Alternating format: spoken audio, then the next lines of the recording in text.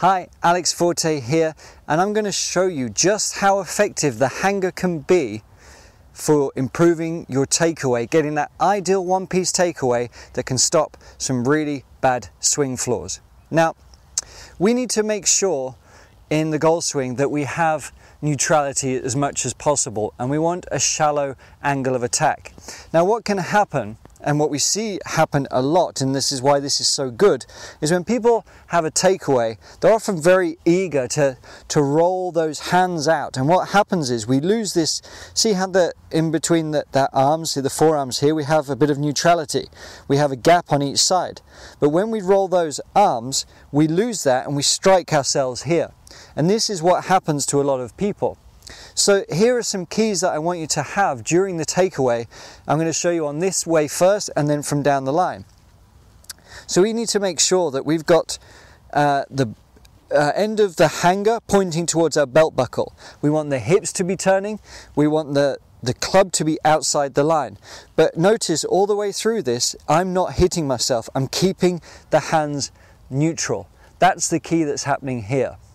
So from down the line, what I'm talking about is this rolling of the wrist. And we can still get the club sort of on plane, if you will. But what happens here is we're we, you know, you're going to have a tendency to come over the top, which is a big problem for most of you.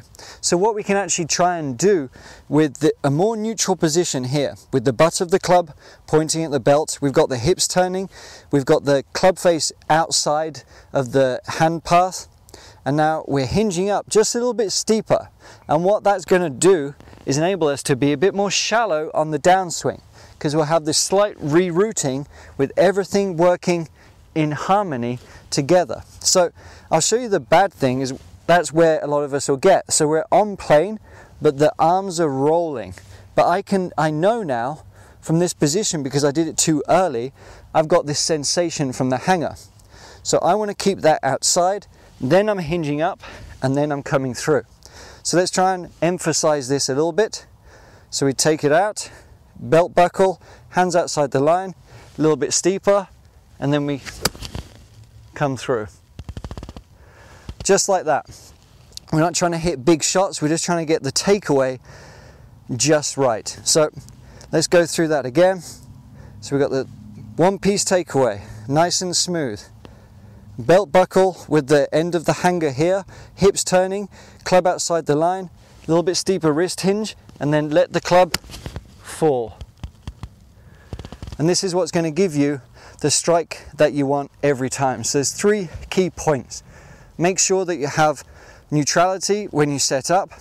Keep the hands, the club face outside of the hands, pointing at the belt buckle, and a little bit steeper so it, the line of the hanger is just perhaps at the ball or just inside, and then let your instincts take over to have a nice extension through the ball and get the results you want. So let's try and put it into one smooth move.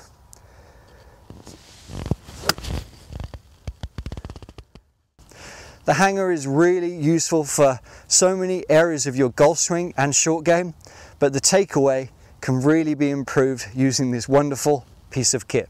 Hope you like that. If you have any questions, just leave them below. Thanks.